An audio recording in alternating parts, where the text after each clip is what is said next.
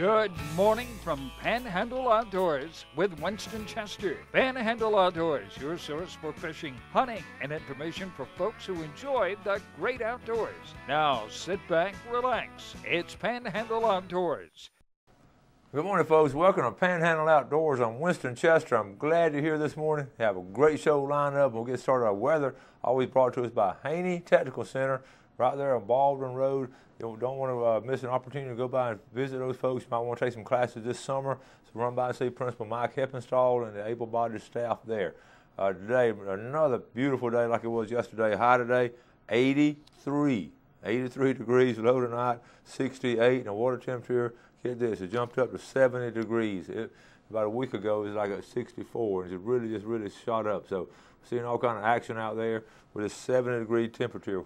Now look at our river readings. The Apalachicola Blountstown, it had really jumped up last night and it started falling a little bit. And I, I know some of y'all are glad about that. We're looking at we're looking at a situation where it's 9.2 and falling. And so this weekend, if you're going on the big river, it's uh, it's falling. I just looked out there, and that's the Choctawhatchee River. Okay, so if you're going on the not the big river, but the Choctawhatchee River, it's going to be uh, 10.8.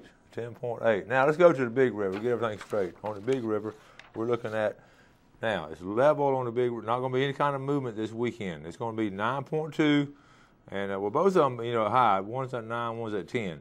So, uh, but the Choctawhatchee will be dropping, and Apalachicola will be actually will be uh, just staying right where it is. Okay. Uh, take a look at our marine forecast now. It's going to be coming at an east. We're going to have an east wind at 10 to 15 knots and seas to be two to three. The marine forecast always important. Uh, I know a lot, a lot of folks now going out kayaks and smaller boats. So, you know, always pay attention to what that marine forecast is. And a lot of times I like to double that number when it says waves one to two. Then I'm always counting two to four. All right. Now, uh, that takes care of our weather. Let's go ahead and take our first break. Got a special guest here, and you'll be really enjoying him. All right, welcome back. Sitting here. Oh, listen, we're going to do, I forgot to do something, okay? Give them the tides. Got to know the tides. Let's do the tides, okay? our tides brought to us by Kent Forest Lawn Funeral Home. And looking at our tide this morning, we're looking at a low tide uh, this morning at 1244 a.m. We've already had a low tide, then a high tide at 155 Good strong tide. High tide right here in the middle of the day. And it's going to start dropping out again in the afternoon. Brought to us by Greg Brudnick and the staff over there at Kent Forest Lawn.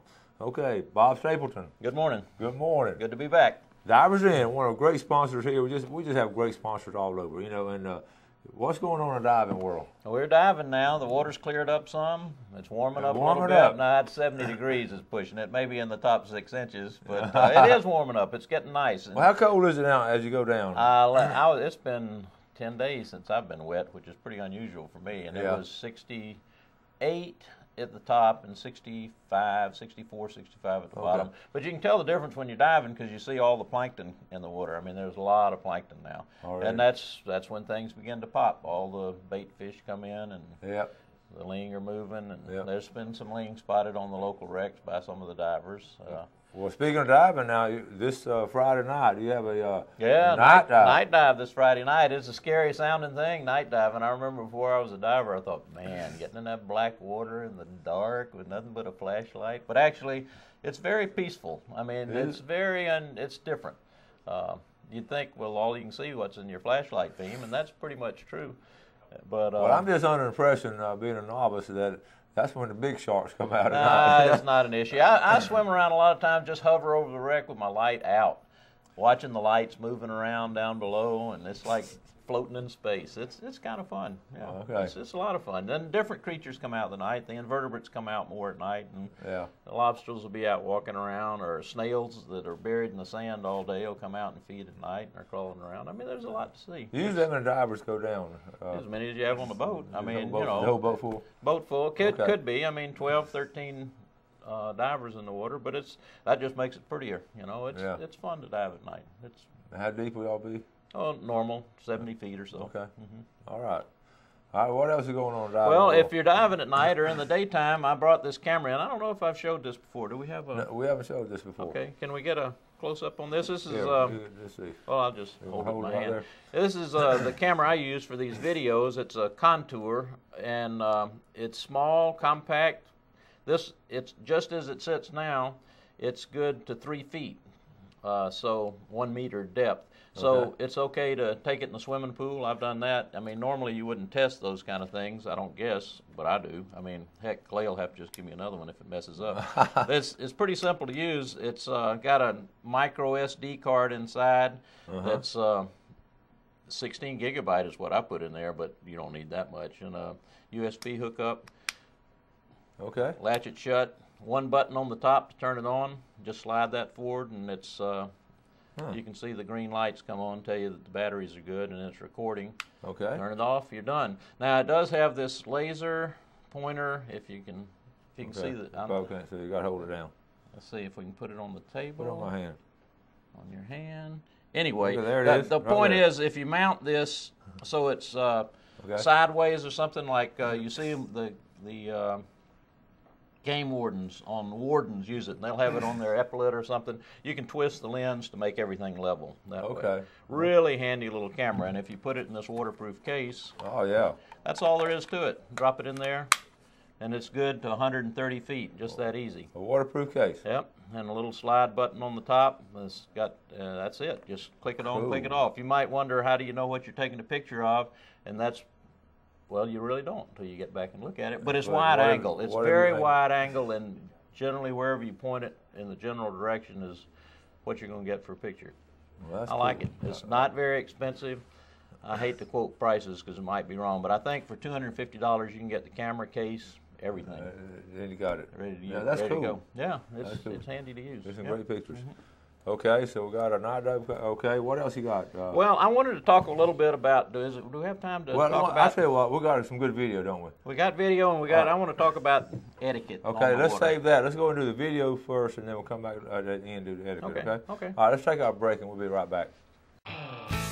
All right, welcome back, folks. Here with Bob Stapleton from Divers Den, and I had a guy tell me one time, uh, Rick Johnson said, Winston, when you when you show video, just show anything because a lot of people are at home don't see a lot of different things. And he said, show it underneath a bridge.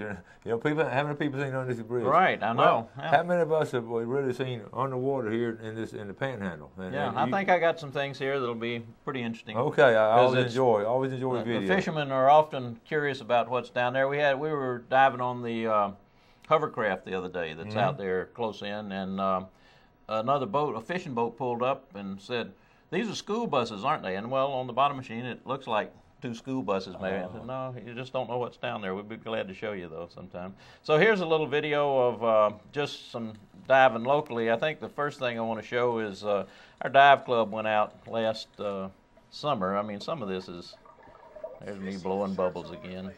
That isn't where I wanted to be. Here we go, on top of one of the bridge spans. That's an animal, as plant-like as it looks. It's a hydroid out there. Plenty of bait.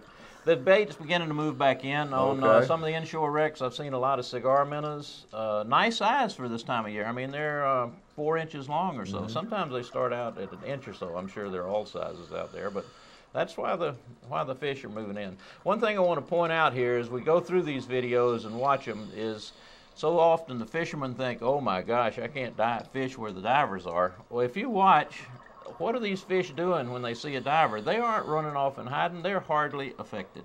Well, that's it might it might help the fishermen a little bit because the grouper will move off the wreck out onto the sand and wait for us to leave, which is exactly where you want them if you're fishing. You don't want them on the wreck. You want them out on the sand. There's DJ.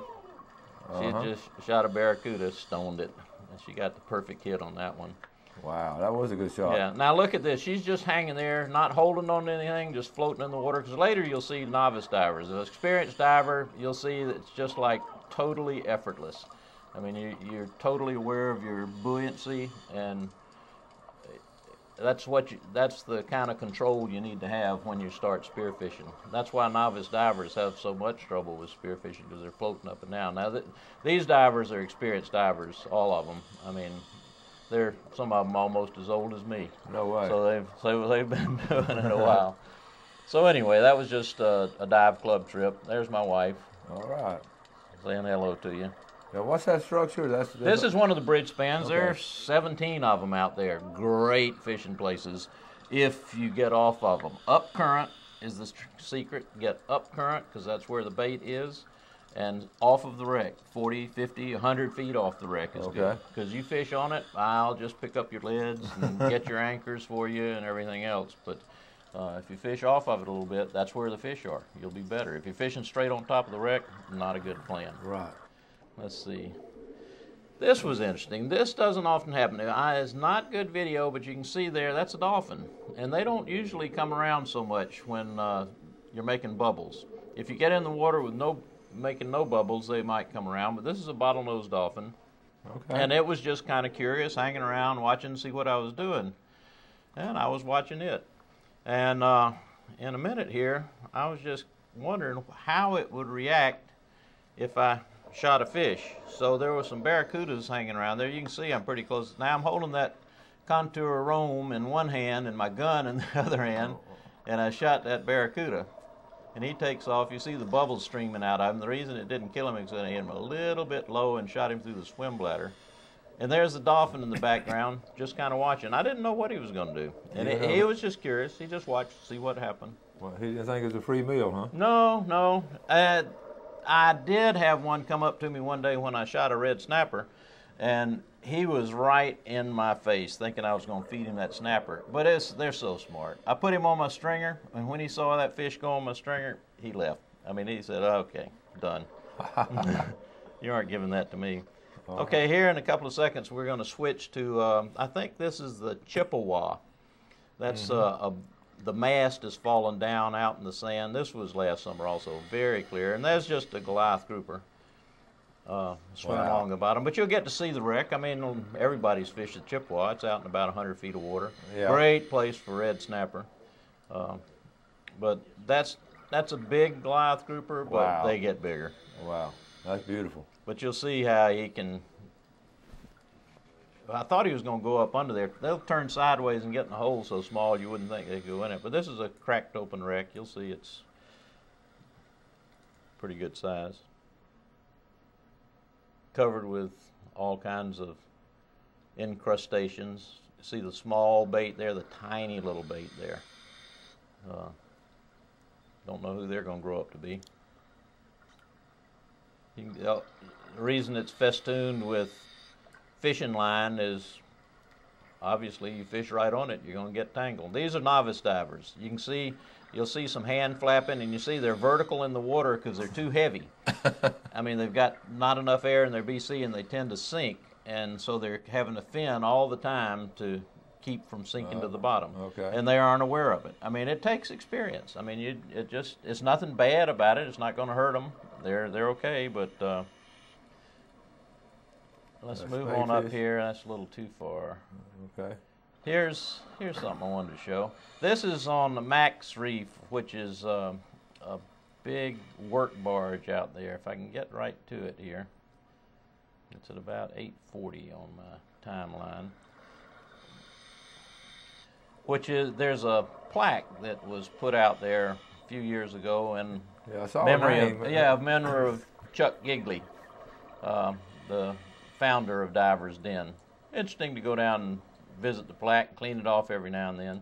There Oh. you can, you can see a Well, that's how I guess Gigley Enterprise. uh huh Okay. yep founder of Divers Den, Gigley Enterprises, 1932 to 2006. Great guy, great guy.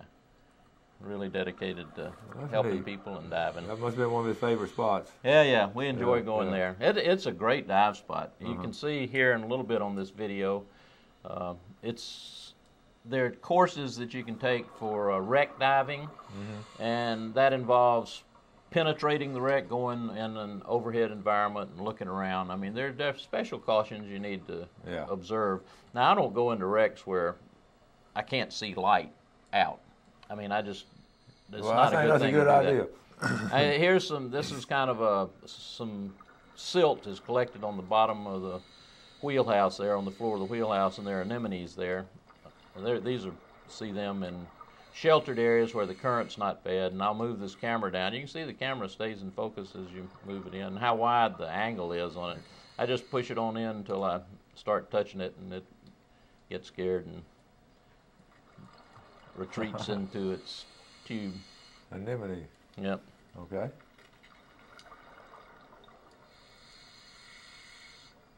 That's a good bottom there. Yeah, yeah. Hmm Well, this is inside the wreck. You see the portholes there. Everybody got some structure already. Uh huh. Uh huh. So you went all the way in there.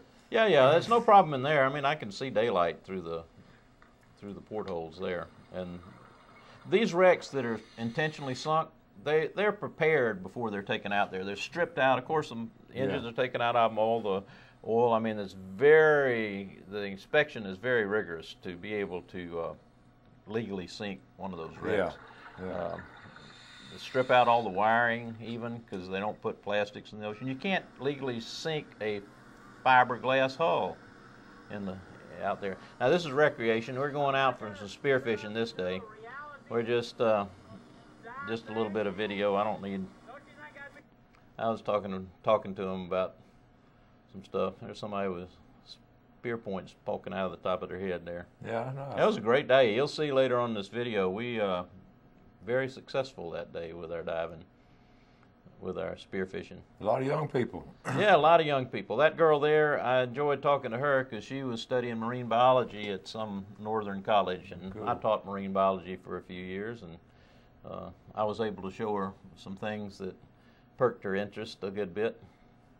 Things that you wouldn't see Yeah. when you're studying marine biology in the Midwest. Yeah. Let's get on here a little bit. Let's see. All right. Got about one more scene. Okay. Uh, 12, That was hydrating. Yep, that's always a good idea to stay well hydrated. Uh, if you've ever fished on the USS Tarpon, here's some video from that. It's just scattered wreckage now. But another thing I wanted to point out is you see I'm swimming up on these amberjack. They're not running away, hiding from divers, trying to get away. I mean, they're just there. You know, I mean, if you were to fish right next to me, that's fine. I'll probably see your lure. You're probably not going to catch me.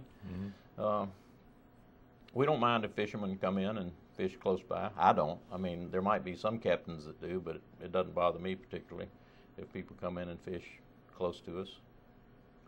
Just watch out for my diver's bubbles. Don't run over anybody. But that's the uh, the boiler stacks on the uh, tarpon. on there's the a plaque. There's a plaque there also. It's a state archaeological site.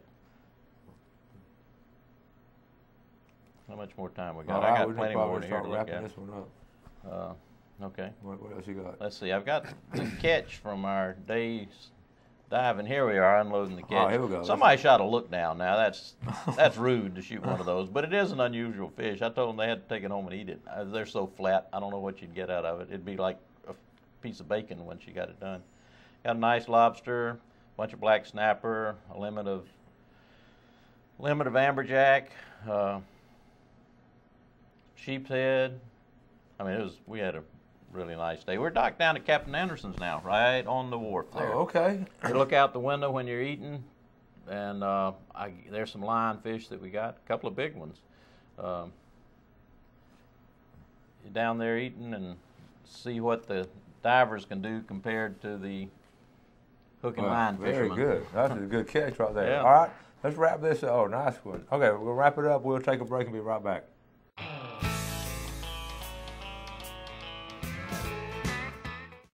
All right, welcome back. Divers Den here. Uh, Bob Stapleton always comes on. Always, there's some really good video. Really, Good, I'm glad really you enjoy it. that. That's Yeah. amazing. Let's take a look at our fishing game forecast for today, brought to us by Mark Cowart, Edgewater Beach Realty, number 832-6000. Our time this today will be this morning at 6.07 to 8.07, and uh, late this afternoon, 6.30 to 8.30. Two excellent times to get out and enjoy the great outdoors, okay? Also, while, while we have a break here, I want to go ahead and mention the uh, Fish and Wildlife Commission their their effort on recognizing these big catches of our of our bass. Okay, Uh, I really appreciate what they're doing. I want all of y'all to register. You can win all kind of prizes and all. Go to myfwc.com and, and register for Trophy Catch. And, and they do have three different categories. Of course, they, they start out here with the, uh, the of course the big one would be the lunker one, and then uh, well, you, you can see it. We have it there on uh, just the three right there. Okay. Anyway, go to myfwc.com and uh, reward yourself with a catch and release. And and uh, I'm gonna go ahead and read it to you. The Lunker Club is you know from 8 to 9 pounds, the Trophy Club from 10 to 12.9, and the Hall of Fame. That's the one we want to be in the Hall yeah, of Fame. yeah, I want to be there. 13 pounds or greater. Ooh, yeah. And uh, you want all kind of stuff. And 22 talk, pounds, I think, is the target, isn't it? Uh, yeah, then that's get right. rich. That's, that's a world record. That's right. Yeah, yeah. But uh, go ahead and check that out. We'll talk more about it tomorrow too. Okay. Etiquette. We got a couple. Well, minutes. I know a little, you- a little bit about divers down flag. I was surprised. This has been several years ago. We, I was uh, snorkeling up scallops, so you know it was a while back because it was in on the backside of Shell Island. The bay was still open. Yeah. It was clo- closed for scalloping in the bay now. Don't do that before Yeah. '94. Yeah, but uh, I was standing next to the boat with my mask on my head. And with my daughter there, talking to my wife, shucking some oysters, and the Marine Patrol came plowing in, digging up grass to get to us in two feet of water, and issued me a citation for diving without a diver's down flag. And I thought, well, that can't be right. I'm not diving. All I got is my mask and snorkel. That's all it takes. Mask and snorkel, you're a diver. That's right. You have to display a dive flag. If you're displaying one on a float, it has to be 12 by 12 inches. If you if you're displaying one on your boat, it has to be at the highest point on your boat and larger flag. Any of them you buy, if you buy one at the dive shop, it'll be right. Yeah. Uh, the alpha flag in some countries is international. It's it's not. It needs to be the red Yeah. with a white stripe. But now you say you have your boat docked at uh, Captain Anderson. It's now? at Captain Anderson's Okay. now. hmm All right. Yeah. Yeah, we got flags flying there. You can't miss it. Easy loading, e- nice place. Nice place to eat when Mm-hmm. Yeah. you're done. well, uh, we probably don't have time to get into etiquette. But, Yeah, But okay. next time you come, we're going to talk a lot about it. But listen, Okay. uh, one one of the things, uh, if people want to take lessons, I always want to cover that. I've got two friends that are coming down from Valdosta. Bring 'em on. Husband and wife are coming down here to take You lessons. need to call the shop and talk to them about it. There's two ways you can do it. One is more classroom and less online, and there's another way you can do it. You can do almost all the academics online. The in-water training is the same for both programs. Okay. And if you ever have any questions from your either online study or in classroom study, the instructor's not going to let you go until all your questions are answered. Okay. So that's the way it works. I think it's three hundred dollars for the normal just classroom, and Okay. three fifty if you do it all online and just come in and take your dive skills. All right. So Well, thank you as always so You much. bet. Appreciate A it. lot of fun. Good stuff there. Bob Stapleton, Diver Den. Thank you, folks, for watching the show. If you do something good for somebody today, have a great day and God bless. Thanks for joining us for Panhandle Outdoors with Winston Chester. Panhandle Outdoors features hunting, fishing, and other activities and information to help you enjoy the great outdoors. Join us next time for Panhandle Outdoors.